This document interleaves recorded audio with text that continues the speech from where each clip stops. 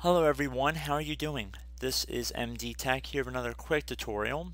Today I'm going to show you guys how to disable the magnifier utility that's built into Windows. So this is going to be a pretty quick tutorial and we're going to jump right into it. And we're going to start by opening up the start menu here. So you want to left click on the start button and now you want to type in magnifier. Should say desktop app. So you want to right click on it and then you want to left click on open file location.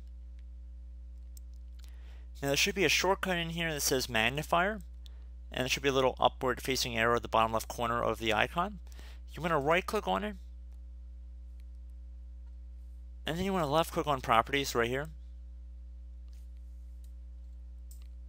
Now you want to go and navigate to the security tile right here or the security tab and you want to left click on that one time and now you want to left click on this edit button right across from to change permissions, click edit. Click on this edit button.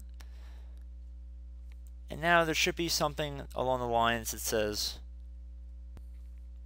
now you want to select the user or groups that you do not want to use the magnifier. So in my case, my account name is John Smith right here. So I'm going to click on that. And now underneath deny, I'm going to just uncheck or click inside this box and it should disable all of these options right here. And then once you've done that, you can click on apply and OK. And you might get a Windows security pop-up. Click on yes and then OK. So now if I close out the magnifier properties and I go to the start menu and type in magnifier and I try and open up the desktop app, you can see it will not let me open it up. So, wouldn't you know?